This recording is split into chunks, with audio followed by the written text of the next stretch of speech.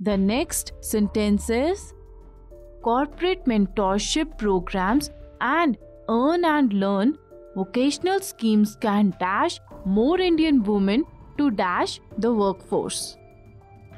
First, encourage, enter. Second, make, join. Third, allow, leave. Fourth, succumb, become. Fifth, get, make. Ma'am, I'm confused. Give me a hint. Okay, listen. Even if you don't get the general drift of the sentence, this much should be clear to you. Earn and learn vocational schemes will motivate people, here women, to become a part of them. Now, since the causative verb make does not take to and the verb succumb is intransitive, that it does not take a direct object, options 2 and 4 are ruled out straight away. Ma'am, third is ruled out because the second blank word leave is illogical. We have seen that the set schemes are supposed to be motivating women to join them, not leave them.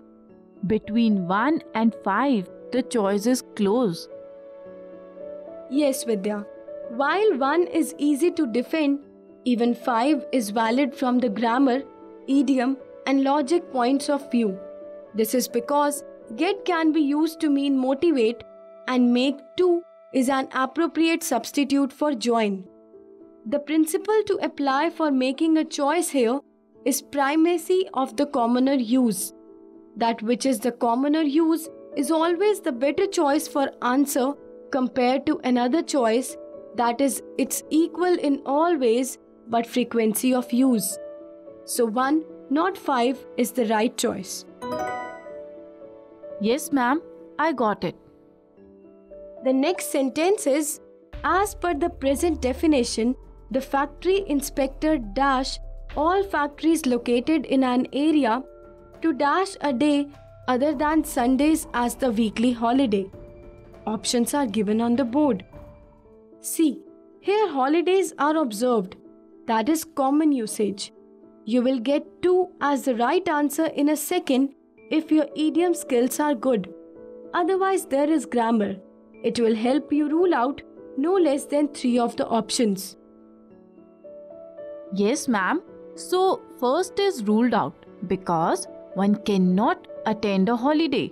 One can attend a function or ceremony held on a holiday. Nor can one believe a holiday. One can believe in some or the other aspect associated with a holiday. So, third is also ruled out. And fifth is rejected because one can adhere, that is, stick to something. One cannot adhere something. Hmm. This leaves you with option 2 and 4.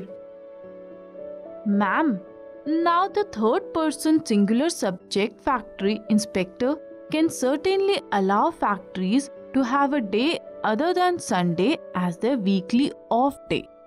But it makes little sense that he or she will admit them to do so.